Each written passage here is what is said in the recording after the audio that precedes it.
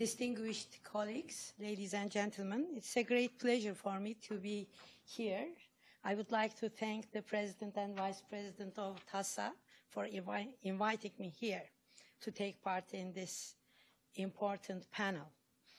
Uh, the previous speakers are all American citizens, and uh, the last ones uh, stayed here 24 years. I have never lived in this country. I'm a Turkish citizen, so there might be a difference between our approaches. So, how are we going to? I have to get my glasses.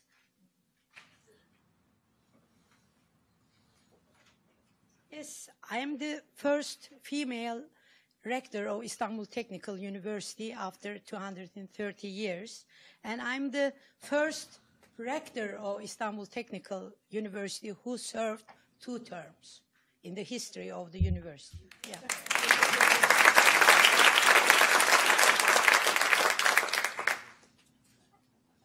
Until I became the rector, I was not aware of gender differences. You know, I gender equality problems. When I was elected, a lot of uh, newspapers, journalists came to me and started to ask questions. How did you manage to be a rector in this male-dominated uh, institution? I thought, I have never had any barrier. I have never had any segregation. So what's the use of this question? I mean, so, but uh, that was how I started to be involved in gender equality issues. After years, I started to realize the facts. In fact, I was facing with some barriers, but I was not aware of those barriers because I was able to get rid of them. So that might be the reason. so, um, in my um, presentation, I would like to talk a little bit about challenges for higher education and uh, then gender equality, uh, then I would like to share some of the facts and observations related to gender equality in Turkey, in the European Union, and uh, women in higher education, and especially research funding area. And uh, then I will uh, a little bit uh, focus on women leadership in higher education and change process. And uh, at the end, I would like to uh, give you some uh, information about Horizon 2020, which will cover 2014-2020 period uh, in European uh, Union uh, research activities. Then I'll have some conclusions at the end. Um, defining the role of higher education in society and uh, devising strategies for implementing that role is a never-ending task. We know that uh, the society in which we are operating uh, is in continuous flux. Therefore, there is a need for making change at every step of our lives, especially in educational areas. There are different types of institutions. Some of them are um, really uh, eager to make changes in their uh, institutions and they would like to be forefront of knowledge creation and they would like to uh, set role models for the rest of higher education institutions. But there is a second group. They would, uh, the second group is imitating and adapting the best practices. The third group is resisting change. They don't want to make any changes, whatever the you know uh, trends emerging they are uh, ignoring the environment. So um, I know that in many countries, uh, I don't know very well the United States, but I know Europe very well and my country, of course. We have three types everywhere in Europe and in, in uh, my country as well. Um,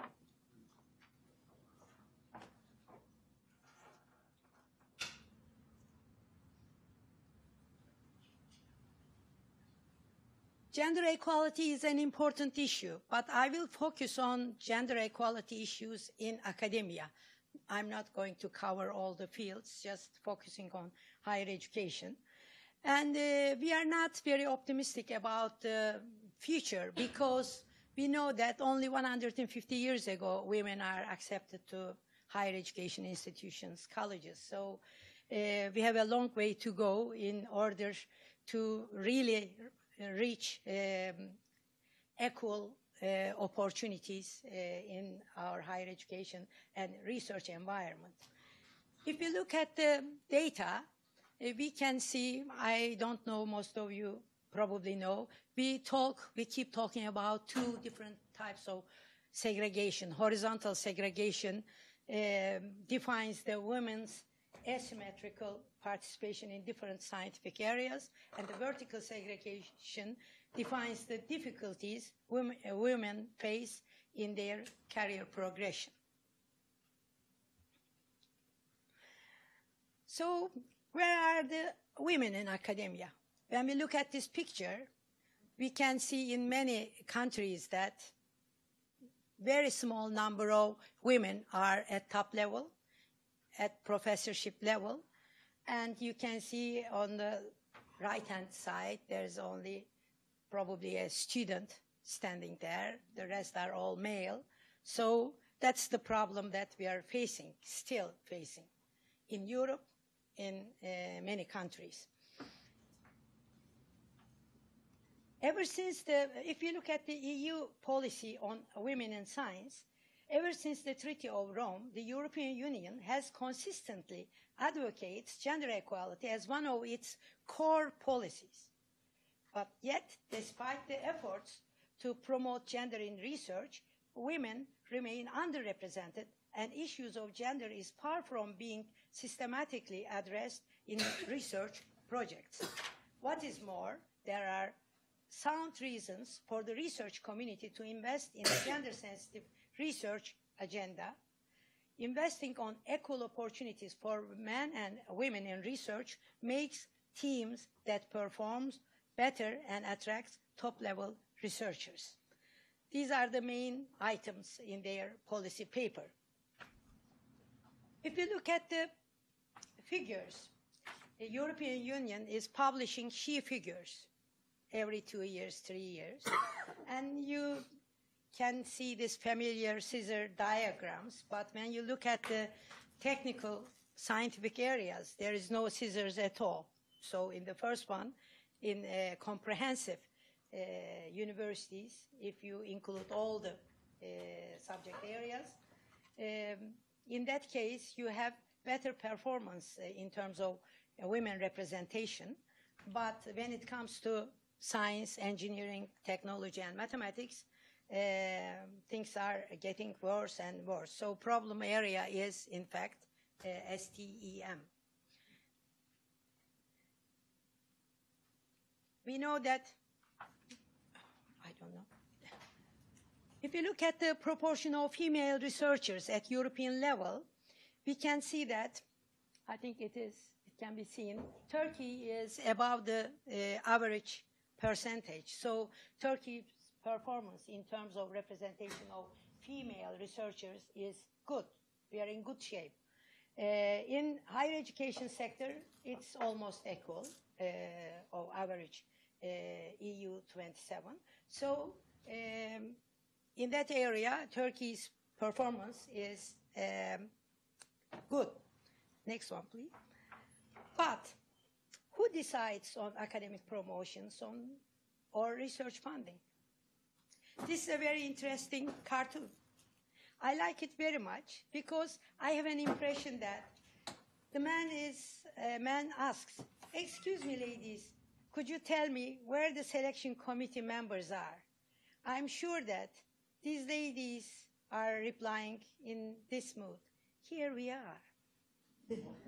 yeah. If I were there, I wouldn't reply in that manner. Yeah.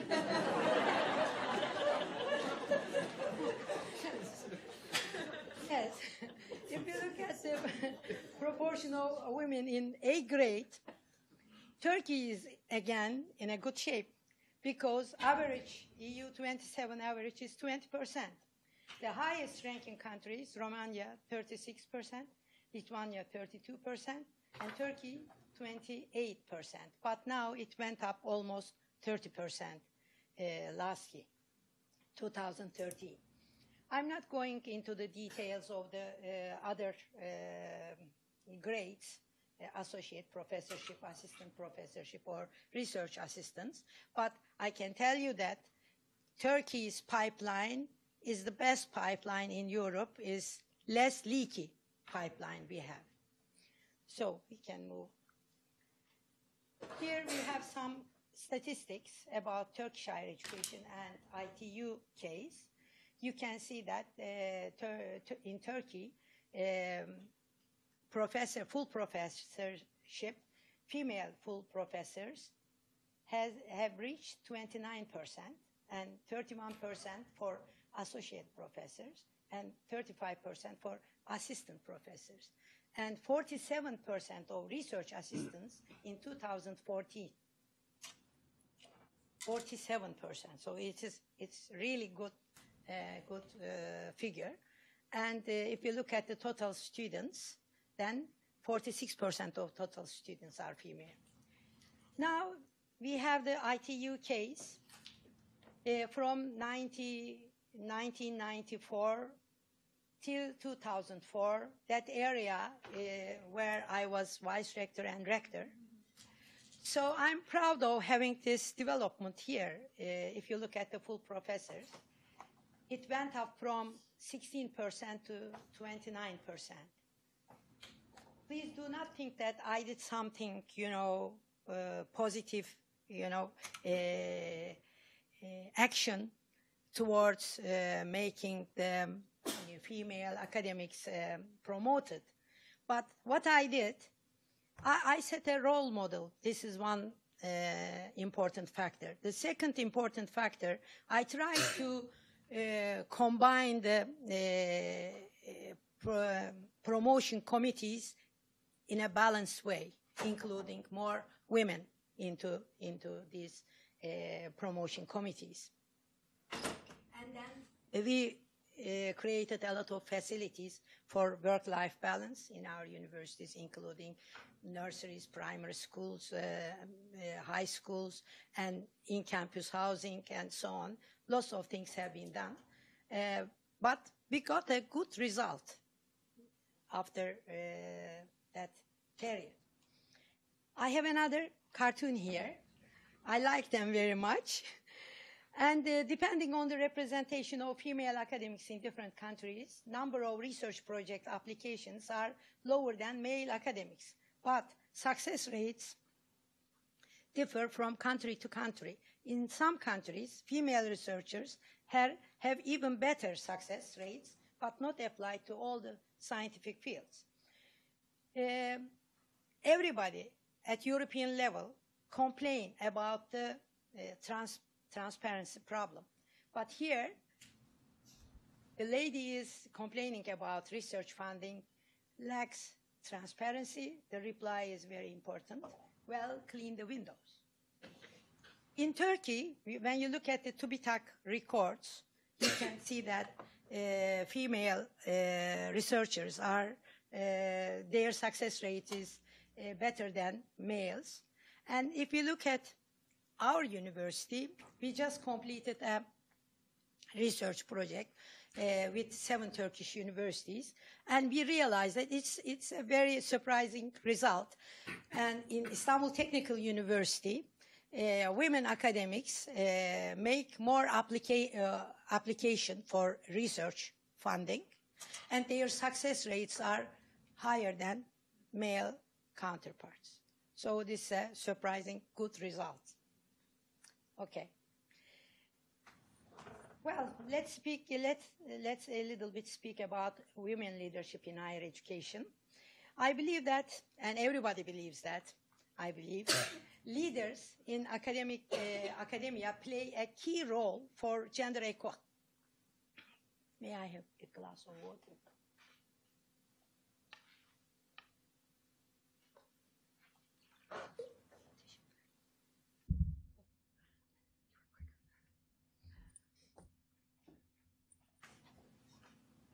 They play a key role for gender equality. We need leaders, men and women, who are giving a great importance to gender and diversity issues to enhance their institutions' capacity for reaching excellence in their achievements.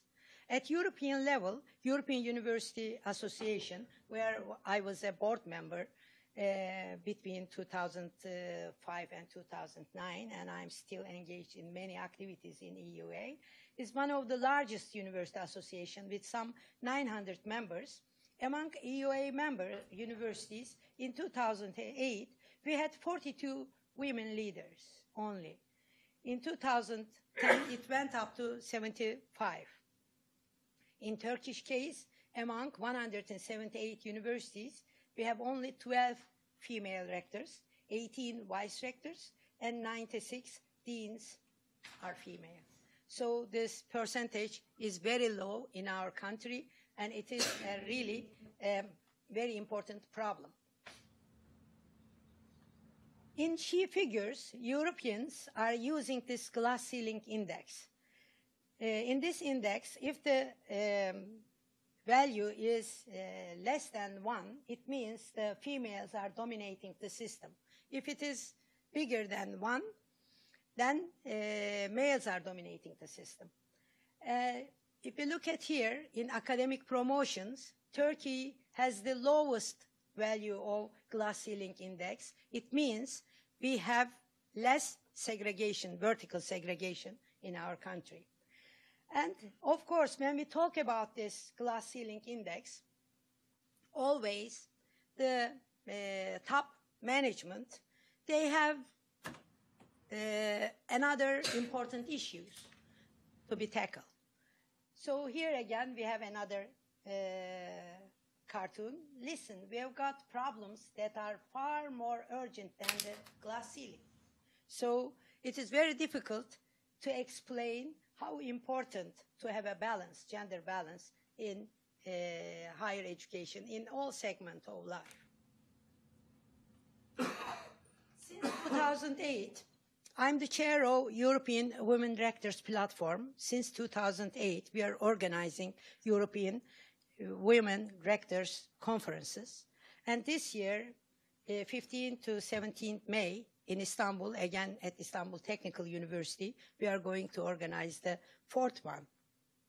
In the first one, we had only 20 participants.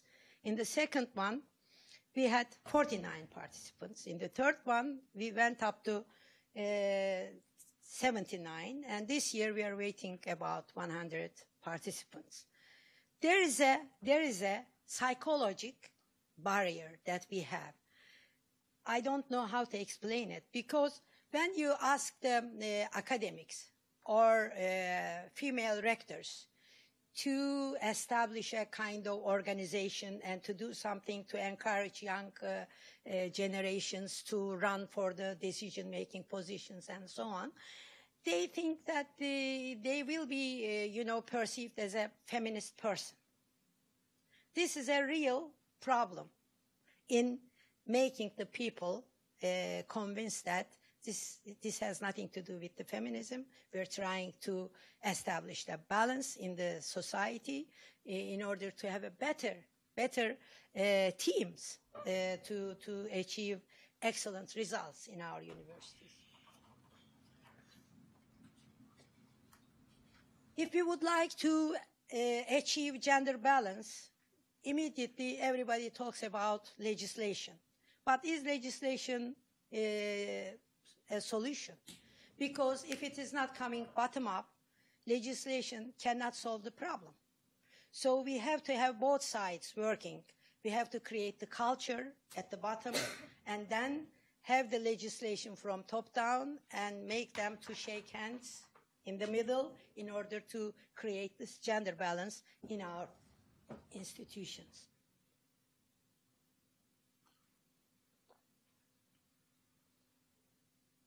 Personally, I'm against positive uh, actions because it may create some sort of uh, meritocratic problems because if you do not deserve it, what you achieved, you know, the position, and then it may ruin uh, the system. So we have to um, encourage, we have to support women to be able to run according to same criteria, according to same conditions in order to be promoted. okay. Next. Let's have a look a little bit what European Commission is trying to do in the coming six years. In the communication uh, on the uh, communication on the ERA 2012, gender is one of the five priority areas. Gender equality and gender mainstreaming in research, encouraging gender diversity to foster science excellence and relevance.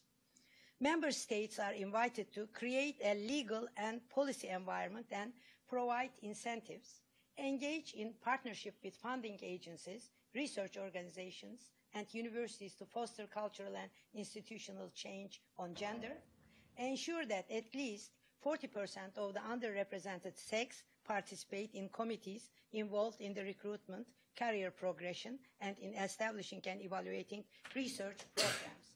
It happened to be like that in all the advisory group, in all the committees, European uh, Commission achieved at least 40% female representation. Next, please.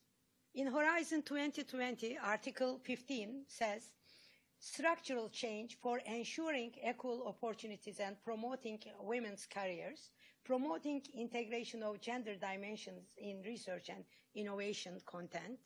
Gender equality is in research and innovation is the commitment of Horizon 2020 they have three areas, gender balance in research teams, gender balance in decision making, integrating gender analysis in decision making. And they are working on creating new recommendations on gender and science and expected to be delivered 2014. Here are some conclusions when we are doing research, I'm doing a lot of research funded by European Commission on uh, gender equality in higher education and research, and we are facing with a really very serious data problems. So we have to have a uh, good data, data, uh, but not only related to European Commission, European Union, but all over the world. We don't have American data. I think we should include them into our uh, analysis. And uh, that's one of the problems that we are facing. And structural changes uh, is the priority on the agenda of the European Commission in order to achieve uh, gender equality. We need structural changes in order to change the culture at institutional and national levels. Therefore, we need gender action plans which will remove unconscious and conscious biases towards gender equality to create awareness and make the gender mainstreaming in reality in higher education and research. Of course, leader and leadership is playing a major role in this process. We need leaders and decision makers, female and male in academia, who will be determined to make contributions to gender equality in their institutions. Actions for equality we should encourage young female generations, especially young academics, to take actions towards achieving equality in higher education and research at every level, including leading positions of the higher education world and, of course, funding. If you do not have funding, then you are in trouble. we need reasonable funding from nation states and from supranational organizations to support these projects and actions in order to create awareness, to create uh, owning the idea and then making the implementation to make the things happen. I will tell one more sentence. This is the first time that, this is the first time that I'm talking on gender equality in academia and more than half of the audience are men. Thank you very much.